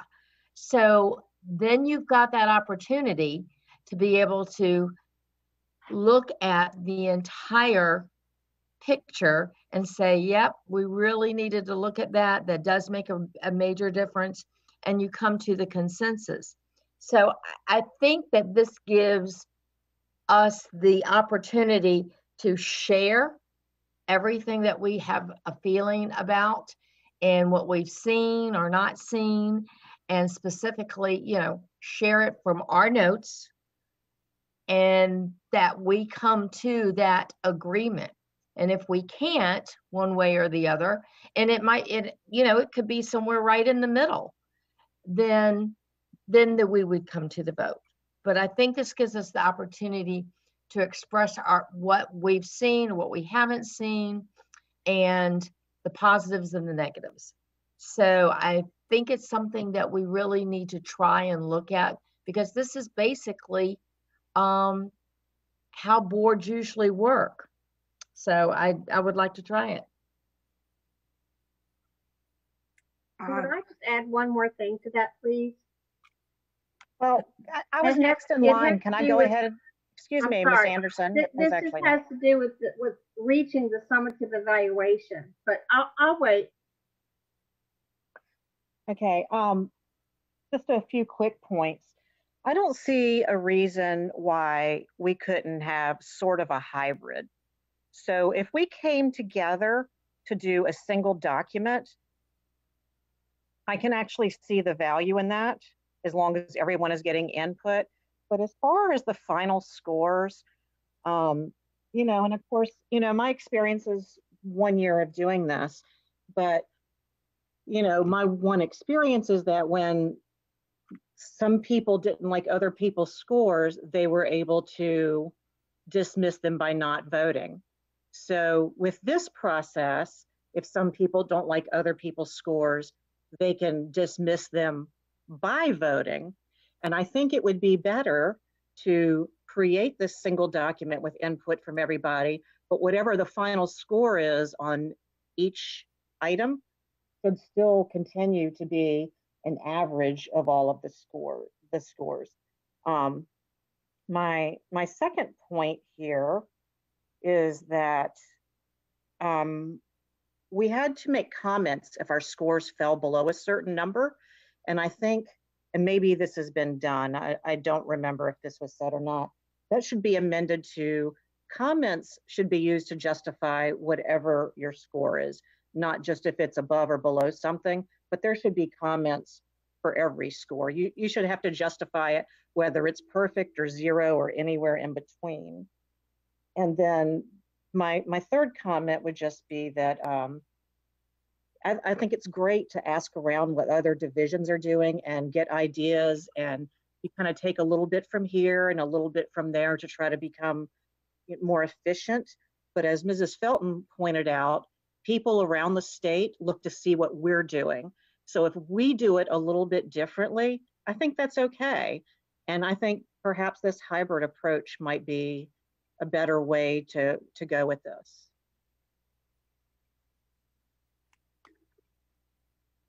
Um, Thank you, Mrs. Hughes. Mrs. Riggs?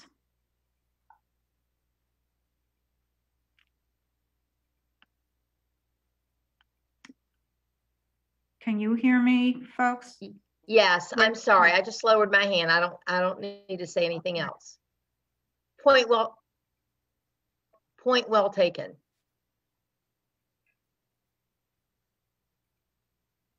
Uh, Now, Mrs. Anderson, Miss Owens, and then Miss Anderson.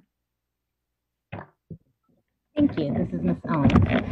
Um, I just wanted to say that I'm very pleased to see a new method being proposed um, for the evaluation process. I've only participated in the superintendent evaluation the one time, and um, it didn't even seem like an efficient or productive process uh, to me during that experience.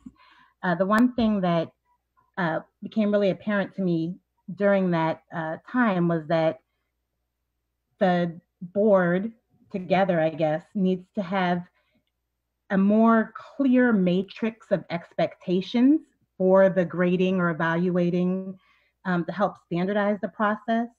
Um, because while I expect that there's going to be differences in, I guess, opinions, um, seeing numbers where we have ones and then on the opposite spectrum fours for the same standard um, shows more of a problem with the board evaluation process to me um, than it does anything with the superintendent. Uh, for whether it's a student or an employee, we expect a group to grade, if you will, on a matrix that is able to be followed. If we had, you know, students that are turning in a portfolio of work to three teachers and we have ones and fours on their work, we would be looking at the matrix of grading and saying, where are we missing something? Um, how are we getting opposite ends by looking at the specific work that we're looking at? And I think that's something that we need to be focused on as a board as well. Um, we need to have a, a target that is specific for the superintendent to shoot for the same way we need to have a specific and clear target for students or any other employee. Um, and so I'm, I'm hopeful that this will be an opportunity for us to um, clarify those expectations so that we don't have as much issues of being ones and fours or twos and tens or whatever the examples were. My Um, if I may weigh in, Ms. Owens, uh, and maybe we can scroll back to nu- number five on this instrument does speak to your very point. Um, and I, and I think hear, hearing it a different way, the way you presented it and, and as a fresh face, I think reinforces to us that we were on the right path and recognizing that.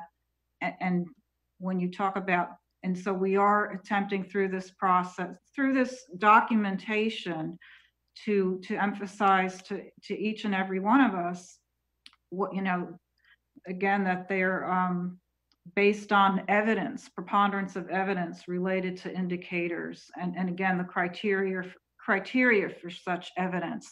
So I, I hope you find that matches up with one of your expectations.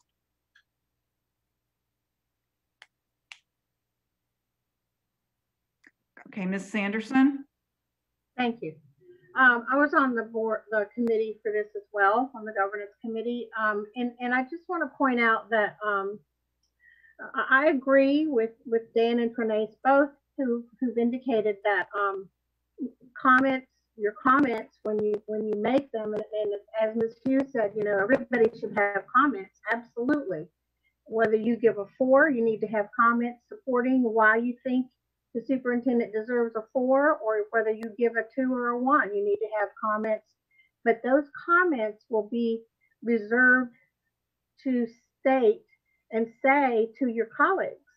And, um, and then after listening to all call, to all your colleagues, you might change your mind a little. Um, or you might, you might, you might go up or down in, in your, you know, in your score. So, um, you know, after listening, that's what those comments are for right now. They wouldn't, they wouldn't be to give to the superintendent. They would pretty much be to uh, support what your score is and what you think your score is. On the, on the other hand, too, um, there's Ms. nothing. Anderson? I'm sorry, I just want to remind you, we, we, we would have the intent, the, the option would remain to, and, and I think we would mostly agree that comments would also be part of the form, the final summative assessment, that we would all collectively decide on what comments to add to that. Okay, but not all comments might, might, might move forward, but they certainly would be used uh, in trying to convince your colleagues that this is why you think this, this is what the score should be. Sure, and, and any other um, member, and any member is always free to, to on their own submit their, any comments to the superintendent, just so that's clear as well. Okay, Right, may I continue? yes, Okay, um, the other thing I want to point out is that there is nothing to prohibit us after we've all decided what each individual score would be, to prohibit us from taking all of those individual scores and averaging them together to see what we come up with uh, as a summative uh, from the group. I mean, maybe it might, maybe after you average everyone's together, it might come out to a 3.5 or a 3.6.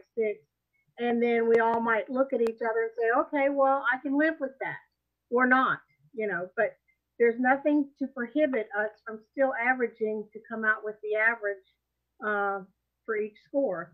Uh, we could still do that if we so choose. So I just wanted to say that as well. Um, so anyway, that's that those were my comments on that. And I do I do think that this is this is um, something that is you know worth giving it a try this time, and I think we should move forward with this. Thank you. Thank you. Mrs. Weems? Is your hand intended to be up? Uh, yes, that's, I mean, that's exactly what I'm saying. I, I totally agree with you.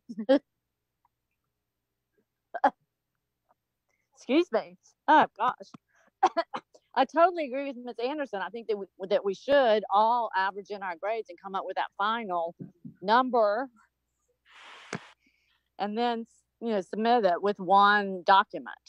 I mean, that's exactly what I think that should be done because in that way, all 11 of us have input and it's an average, but we still come up with one document. We've talked it through. We've defended our, you know, our reasons of why we're, you know, scoring the superintendent such and such. And then um, we average it all in. We get a final number, one document, and the chair and the vice chair present it to the superintendent. That's exactly what I'm saying.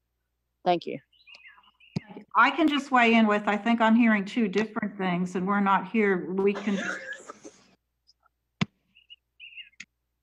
that that could be used as part of the process. Okay, where do we stand in terms of an average and then move on with discussion using that as part of the process? And you're saying using it as the end tool. So there, I think there's two different things happening here, but that, that's good. That's why we're having this discussion. And just, I just, could I just say that, um, that, that's actually what I meant. It could be used as part of the process. We could leave it at that if we're all satisfied with that. Uh, but I just, like, it doesn't state in that- any of this that we can't do that, uh, to use it as part of the process. I mean, we may, we may look at it and say, well, okay, it, it averages out to three point eight. Um, you know, I can live with that, but somebody else might say no, and then we, we haven't reached a consensus. So then that's when we have to finally, after we haven't reached a consensus, that's when we would have to take a vote. Okay, Mrs. Melnick? So part of the problem is that we as a board seem to operate um, on a different set of evaluation criteria. For example, most of the board meets with Dr. Spence um, throughout the year. We have one-on-ones with him. We can go in with with a partner and meet with him, and we talk about things that we're concerned about along the way. And we have some board members that won't meet with him. And so the important thing to remember is that you just can't walk into the room on evaluation day with your opinion um, when we're using a different set of criteria. Um, you need to use the indicators and you need to use evidence. And averaging discounts all of that um, because there's no incentive to come to the table with evidence or a well thought out argument. And so that's why I think the consensus piece is so important. Um, and I ask my colleagues to really think about that. Thank you. Thank you. Uh, Ms. Maletti, Lannetti, is your hand up? Yes, ma'am. Sorry, it's Cami Lannetti. I do want to remind people, and it's important that you actually look at the instrument itself. You have seven categories, it's standards one through seven.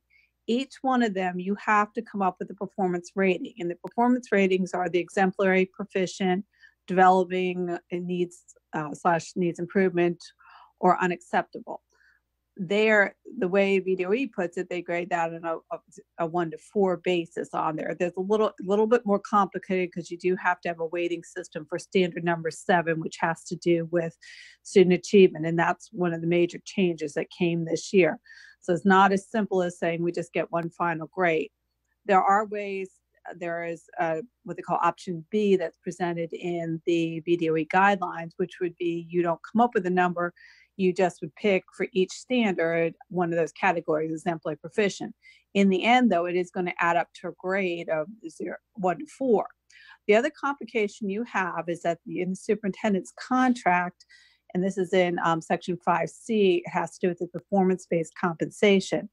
The way he, you determine his performance-based compensation is based on the numerical value of the school board's determination of the superintendent's evaluation instrument for that year. Now, that would, that's something I don't feel at this time you can change his, his contract. So you need to know that you've got to come up with a numerical value. Uh, so that would be something we'd have to look at. So it's not as simple as saying, I just want to call exemplary proficient.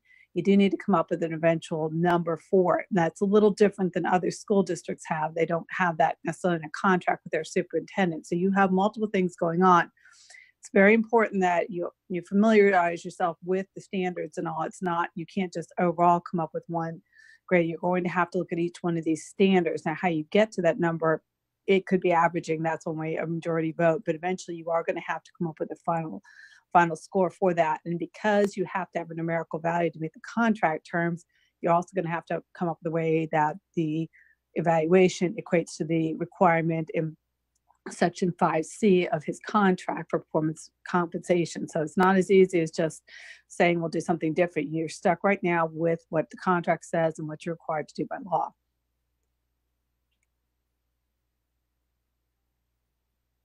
Okay, any questions about that, folks? So there, there's, obviously, this wouldn't have been put together if there wasn't a way to factor that in, but it's important that she points that out, that is, that that is an additional layer to address, okay. And Mrs. Hughes, it looks like your hand is up. Yes, thank you. I just want to say that most of this conversation has been about uh, ways to work together, ways to streamline the process, and ways to make sure that no one opinion is or evaluation process is discounted and that you know we form a more cohesive group. So i find it unfortunate that ms melnick's most recent comments actually were a justification for discounting some board members processes. So i hope that that she's able to go back and and try to understand the spirit of this as opposed to finding reasons to justify discounting those.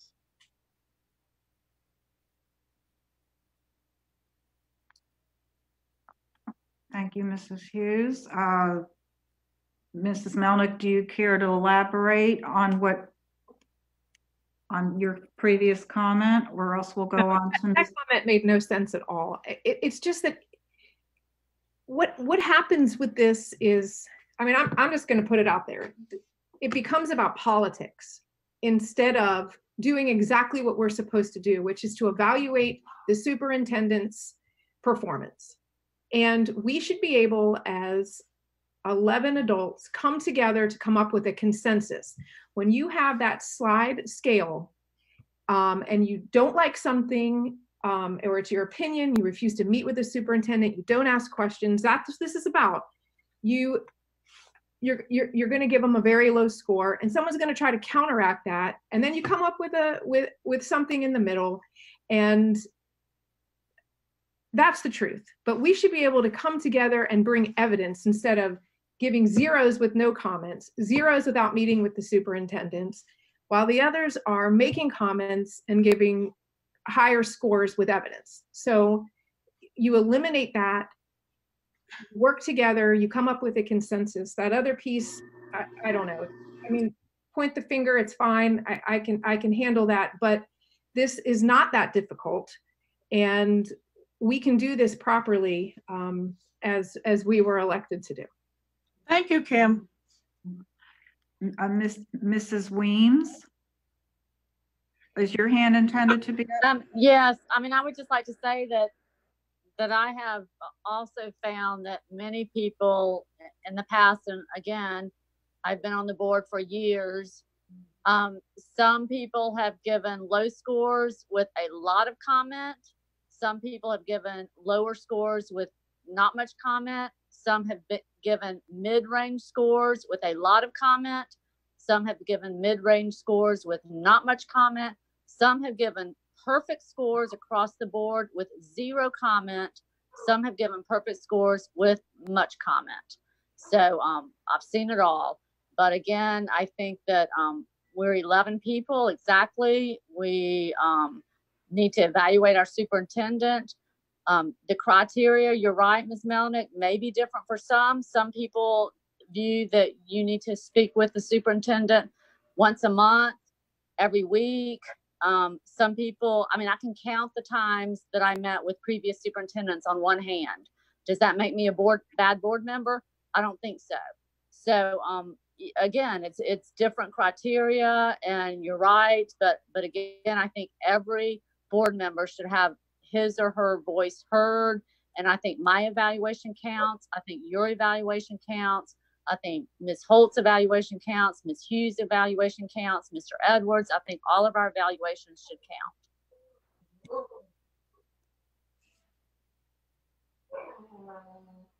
Okay, I think we, Mrs. Weems will move on then to Mrs. Anderson. Yes, um, you know, I, I agree. Everyone's evaluation should count, especially when we meet together as a group. Because as Dan pointed out earlier, we have no power individually, but the evaluation should reflect our collective input.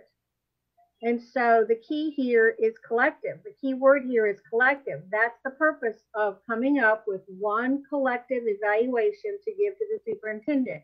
Therefore, we would be speaking as a whole, speaking collectively as a group, um, not individually. So individually, we would be speaking to each other. Um, and then we come up with a collective um, score for each category. That's all I have to say. Thanks. Okay, that leads us to Ms. Owens again.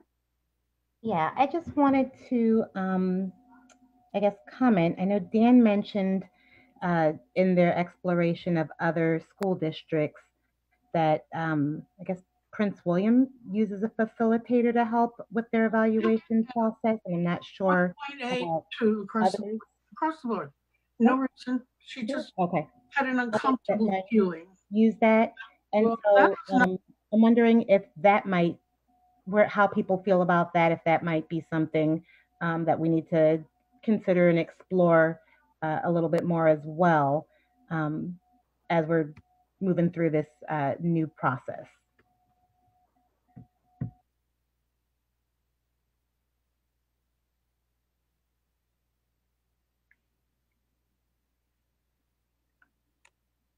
This is Cami Lannetti. I can just clarify, when I talked to Prince William um, school attorney, she said they hire a former superintendent who comes in basically just, they spent a long meeting just working through with this facilitator to reach a final um, agreement.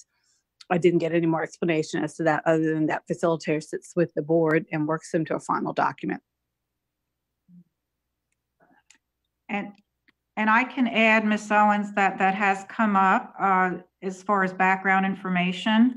And it certainly was, I see that as being an element of our retreat discussion.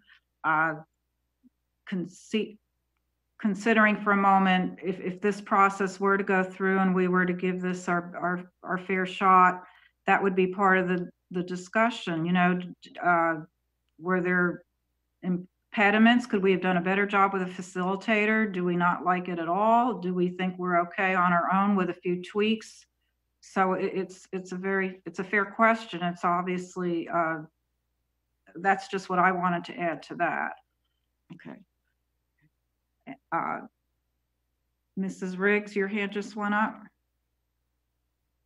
Yes, um, I think, uh, I I really think that this is the, the method that the governance, um, committee went forth and we spent a lot of time on and, uh, several people, Carolyn Weems, Dan, Cami, checked with other locals. I think this is what we need to go with th- at this time.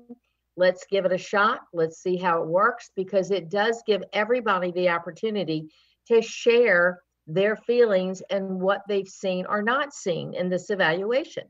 So I think this is something that we could go on and talk about this forever tonight. But I think it's something that we need to move forward with, and then we can talk more about it in the retreat and decide if we need to go with a facilitator or how it worked. But I think this this is a good shot. It's working with several school boards that are doing very well in their uh, with their school systems doing very well. So I think we should give this a shot. Okay, Mrs. Weems and then Mrs. Anderson.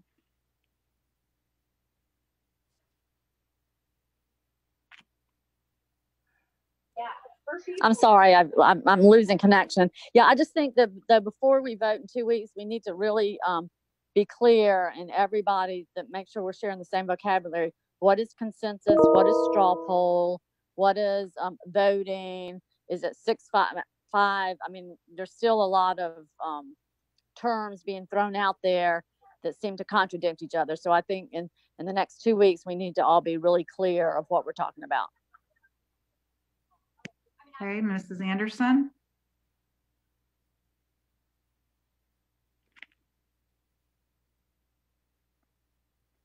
Mrs. Anderson, your hand is raised.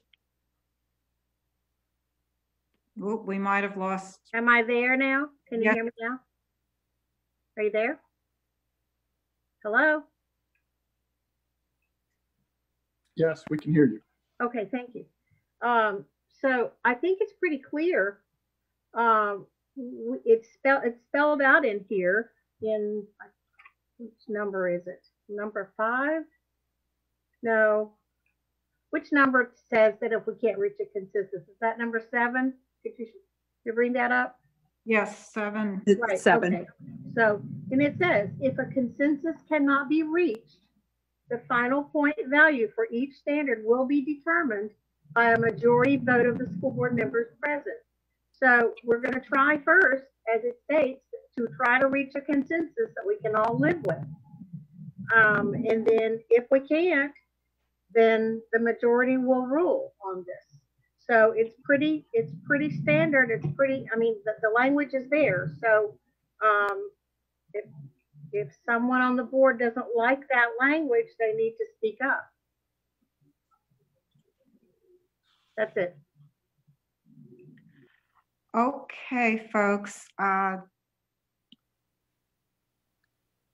final call for any other comment or question, but otherwise I'll say that this is what I, I see laid out now. Uh, in this two-week period, reach out with more discussion or questions, uh, with the committee members, with phone, phone calls are wonderful. I think, um, we do have the superintendent self-evaluation coming, uh, that's due be- before we meet next. And I'll, I can talk offline with the superintendent about if he can still plan to be prepared uh, in accordance with this document to present it to us the night of our next meeting, which would be in closed session. Uh, cause it seems one way or another, that step still has to take place. Dr. Spence, do you care to weigh in on that specific point? Um, I will adhere to the timeline discussed with the governance committee. Okay. Okay, thank you. So I think that wraps up tonight's discussion. Thank you all for your thoughtful questions and for some very good comments. So now we will move on to committee reports. And uh, we'll start with Mrs. Weems. Um, yes, um, we zoomed with the Special Education Advisory Committee, SEAC, and kudos to them for, for putting on a great monthly meeting. Um, Dr. Pasternak was there and Tanya Sotomayor and the committee members, and we had a, um, some guests, um, listening as well. Of course, they would like to have a, um, seat at the table and a voice in regards to the recovery plan with vulnerable populations um, such as those that are um, receiving special education services. And um, they also um, discuss the resource fair. As you know, it's every fall. So of course, the um, you know the questions are are are they going to be able to have it? And so those are um, things that we'll just have to wait and see, according to the governor and big events and everything. Also, they several people made comments that called in about how um, the links on our website page are a little bit difficult for um, for families with um, special needs that need resources and um, so and just and, and then everybody shared you know some some great things that are happening and some challenges and they've just reached out to let um, folks know that if you are doing something with your child or if you're a caregiver with a child with special needs and and you've got questions or or doing something that's working great, to please share that on the SEAC website page so that we can all get that information out. And that's it. Thank you. Thank you. Can I follow up? Ms. Weems, did you get the impression, was there issue with accessing links or the links themselves were, are difficult to navigate?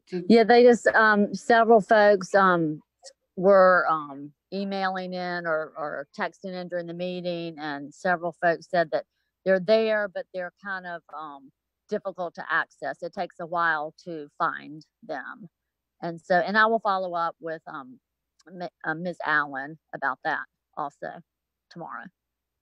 This, and I was gonna say, uh, hopefully the staff was, res- will be responsive to that and at least invest, look into that, right? Yeah, and, and, and probably Tanya did so as well, but I'll, fo- I'll double up and follow up tomorrow as well. And was there, did it seem like fair representation of actual board members present for the meeting, the electronic? Yes. Um, yes, they had, a- they had a good turnout. So it was very, yeah, kudos to them for, for Mhm. making it happen. It was great. The ver- I'm, I'm really happy to know that. Thank you. Uh-huh, thank you. Uh, Other committees to report about upcoming meetings or meetings, meetings that just started taking place? Uh, Next governance meeting I can report is May 20th, 1 o'clock. And uh, The uh, PR, this is Trenace, the PRC meeting is um, the 14th at 1:30. And advisory councils, I had asked about them, and I think that's a work in progress right now. Is that right, Ms. Lannetti? We talked, I've talked with SEAC, they've obviously met, and then we're working individually with certain councils or committees that they need to have a meeting. They're making those determinations. And who are they con, they work with their respective staff member, obviously, but we have such, a central place where we can keep track of which advisory council, councils are meeting? I don't know that we've done that yet. We're trying to move to a different model where the committees or advisory committees, the staff persons will be responsible for contacting them. So we're working on that model right now. But Right now, we're trying to get the staff members that work with each one of these committees to do that.